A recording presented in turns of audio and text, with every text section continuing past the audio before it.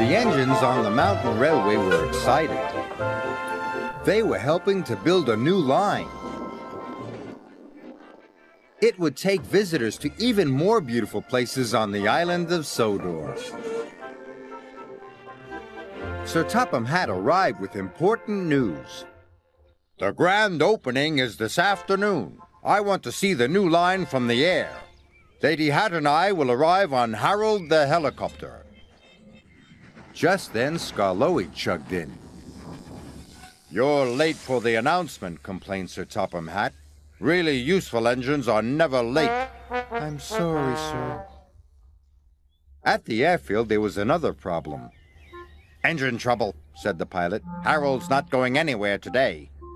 Lady Hatt was most upset. But I've been looking forward to the grand opening all week. And I, my dear, will find a solution. And he did. Topham, you cannot be serious. Me ride in this? The wind direction is perfect. We'll be there in no time. Soon the hot air balloon rose into the sky.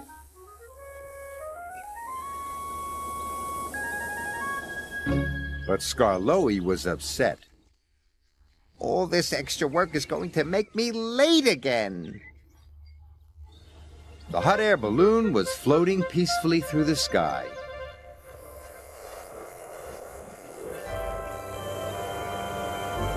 Lady Hatt was enjoying herself.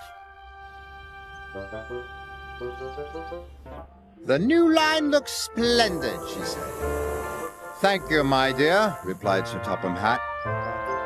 Down the track, the workmen were still loading their ladders. Hurry up! Hurry up! Skarloey puffed. If Skarloey doesn't hurry, sighed Sir Topham Hatt, he'll be late again. All the engines were ready for the grand opening. Where's Skarloey? Rusty asked. He promised to be on time, said Peter Sam. At last, Skarloey was on his way.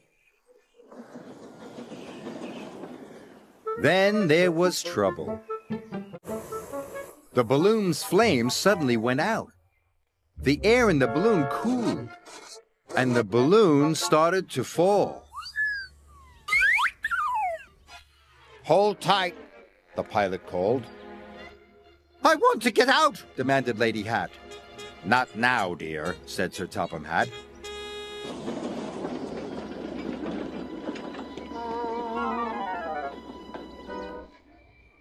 The balloon's going to land in the tree, cried Skarloey.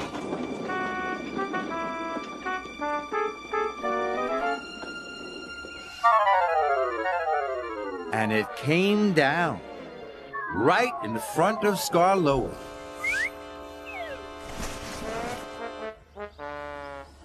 There's the Topham hat! My hat is ruined, cried Lady Hatt. So is mine, said Sir Topham Hatt. Don't worry, called Skarloey's driver. We'll soon have you down. Am I glad to see you, Skarloey? Thank you, sir. Before long, Sir Topham Hatt and Lady Hatt were safely on the ground. They boarded Skarloey's boxcar and set off at once.